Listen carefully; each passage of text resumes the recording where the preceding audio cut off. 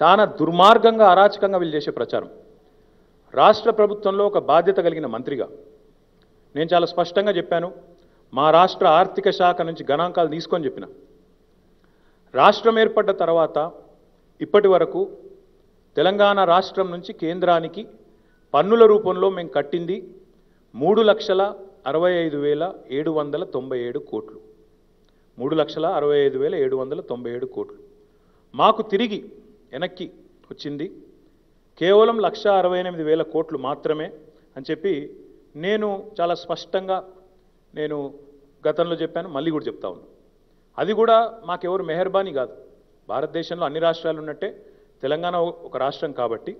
తెలంగాణకు అందరికి వచ్చినట్టే తెలంగాణకు కూడా మనకు రాజ్యాంగం ప్రకారం ఫైనాన్స్ కమిషన్ ప్రకారం లేదా ఏదైనా సెంట్రల్ ఏదైనా గవర్నమెంట్ స్కీమ్ ఉంటే దాని ప్రకారం మనకు కూడా ఒక లక్ష అరవై ఎనిమిది వేల చిల్లర కోట్లు వచ్చినాయి. ఈ మాట నేను చెప్తే ఆ వీడియోది ఈ మాట నేను చెప్తే ఇక్కడ ఒక బీజేపీ ఎంపీ ఉంటాడు. ఆయన నాకు తెలిసి చదువుకోలేదు దొంగ సర్టిఫికేట్ పెట్టుకొని బతుకుతున్నాడు. ఆయన మాట్లాడతాడు ఏం మాట్లాడతాడు ఒకసారి వినండి. ఈ అన్ని లెక్కలేస్తే అన్న మనం ఇచ్చింది మూడు లక్షల అరవై ఐదు వేల కోట్లు మనకు మోదీ గారు వాపస్ ఇచ్చింది మూడు లక్షల తొంభై నాలుగు వేల నూట నలభై ఏడు కోట్లు. మూడు లక్షల తొంభై నాలుగు వేల కోట్లు ఇచ్చిన ఈయన చెప్తాడు. మూడు వందల యాభై కోట్లు అదనంగా ఇచ్చిండు. మోదీజీనే ఆట్ సాల్ తెలంగాణ వికాస్ దో లాఖ బావన్ హజార్ దో సో దో కరోడ్ రూపాయ దియా హై. ఎట్లుంటాయంటే వీళ్ళ అబద్ధాలు వీళ్ళ బతుకెంత అబద్ధ బతుకంటే ఒక ఎంపీ మరి ఆయన ఏం చదువుకున్నాడో ఏం చదువుకోలేదో ఆయనకి ఏమైనా తెలుసో తెలియదో నాకు తెలియదు. ఆయననేమో మీరు ఇచ్చిన దానికంటే మోడీ గారు ఇరవై నాలుగు వేల కోట్లు మీకు ఎక్కువ ఇచ్చిండు. మూడు లక్షల తొంభై నాలుగు వేల నూట నలభై ఏడు కోట్లు ఇచ్చిండని ఆయన మాట్లాడతాడు ప్రెస్ మీట్ పెట్టి. ఈయననేమో కేంద్ర హోంశాఖ మంత్రి వచ్చేమో మేము ఆయన ఎన్ని రోజుల్లో కూడా కాలే చెప్పి. ఆయన చెప్పింది మే ఐదు తారీఖు నాడు ఆ ఎంపీ గారు. ఈయన వచ్చేమో నిన్న మే పదిహేను నాడు రెండు లక్షల యాభై రెండు వేల నా రెండు వందల రెండు కోట్లు ఇచ్చినామని ఈయన చెప్తాడు. ఇక ఇంకొక ఆయన ఉన్నాడు వాళ్ళ అధికార ప్రతినిధి అట ఆయన పేరు రాకేష్ రెడ్డి. ఆయన ట్విట్టర్లో పెట్టిండు. ఆయన ఏం పెడతాడంటే మేము ఇప్పటి వరకు తెలంగాణ వచ్చినాక నాలుగు లక్షల పదకొండు వేల పద్దెనిమిది కోట్లు ఇచ్చినామని ఆయన పెడతాడు. వీళ్ళది అబద్ధ బతకనాలనా? అసత్య బతకనాలనా? అర్ధసత్యాల బతకనాలనా?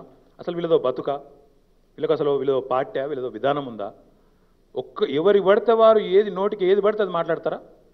ఇంత కామన్ సెన్స్ లేకుండా సోయి లేకుండా ఏం మాట్లాడుతున్నారో అనే ఇంగిత జ్ఞానం లేకుండా ఒక్కొక్కరు నోటికొచ్చినట్టు ఏది పడితే చెప్పొచ్చా? భారతీయ జనతా పార్టీ ఎంపీ ఏమో దగ్గర దగ్గర నాలుగు లక్షల కోట్లు ఇచ్చినామంటాడు. వాళ్ళ అధికార ప్రతినిధి ఏమో నాలుగు లక్షల పదకొండు వేల కోట్లు ఇచ్చినామంటాడు. ఈయన వచ్చేమో రెండు లక్షల యాభై ఏడు వేల కోట్లు ఇచ్చినామంటున్నాడు. నేను ఇవాళ వారిని అడుగుతా ఉన్నా కేంద్ర హోంమంత్రి గారిని. నేను స్పష్టంగా చెప్తా ఉన్నా మాకు వచ్చింది కేవలం లక్ష అరవై ఎనిమిది మేము మొత్తానికి మొత్తం మేము కట్టిన ప్రతి పైసా మాకు వెనక్కి రావాలని మేము అంటలేము మీరు వచ్చి కాకపోతే ఇక్కడ ఏదైతే పోజులు కొడతారో आप जो आके यहाँ बताते हो कि हमने दो लाख बावन हजार करोड़ रुपया दिया हम पूछना चाहते हैं अमित शाह जी से अगर लेन देन की बात आती है लेन देन की अगर बात आती है किसने किसको दिया ఎవరు ఎవరికి ఇచ్చిండ్రు పైసలు తెలంగాణ ప్రజలు మూడు లక్షల అరవై ఐదు వేల ఏడు వందల తొంభై ఏడు కోట్లు మేము నీకు గడితే నీ లెక్క ప్రకారం సరే నువ్వు చెప్పింది ఒక నిమిషం నిజమే అనుకుందాం. అమిత్ షా చెప్పింది నిజం అనుకుందాం. రెండు లక్షల యాభై రెండు వేల కోట్లు నువ్వు చెప్తివి. మరి మిగతా లక్ష పది పన్నెండు వేల కోట్లు ఎక్కడ పోయినాయి? ఎక్కడ ఉన్నాయి? ఉపయోగపడట్లేదా? నీ ఉత్తరప్రదేశ్లో నీ బీహార్లో నీ మధ్యప్రదేశ్లో నీ భాజపా అసమర్థ రాష్ట్రాలలో అసమర్థ పాలనతో కునారిల్లుతున్న రాష్ట్రాల్లో అక్కడ ఈరోజు తెలంగాణ బిడ్డల చెమట తెలంగాణ బిడ్డల రక్తం అక్కడ లేదా? ఇది వాస్తవం కాదా? మరి అట్లాంటప్పుడు ఎవరి సొమ్ముతో ఎవరు కులుకుతుంటే నువ్వు ఇక్కడ హై తెలంగాణకు వచ్చి మేము ఇచ్చినామంటావు? దండం పెట్టి పో తెలంగాణకు. వచ్చి ఇక్కడ దండం పెట్టు తెలంగాణ ప్రజలకు. మీ కాళ్ళు గడిగి నెత్తిన పోసుకున్నా మీ రుణం తీర్చుకోలేనని చెప్పు. మీ వల్ల మా ఉత్తరప్రదేశ్ బతుకుతున్నది. మీ వల్ల మా మధ్యప్రదేశ్లో మీ వల్ల మా గుజరాత్లో మాకు కొంత అభివృద్ధి జరుగుతున్నదని ఒప్పుకో. మేము సంతోషపడతాం. జాతి నిర్మాణంలో తెలంగాణ జాతి పాలు పంచుకుంటే తెలంగాణ బిడ్డలుగా గర్వపడతాం. మాకు ఆ విషయంలో బేసిజం లేదు.